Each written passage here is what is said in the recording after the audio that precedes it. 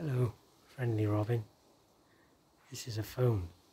I'm filming you. The friendliest Robin I've ever come across.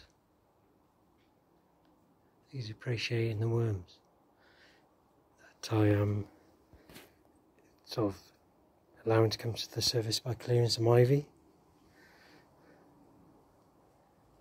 I love it when this happens. With interaction with nature.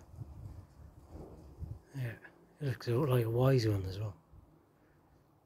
Very nice.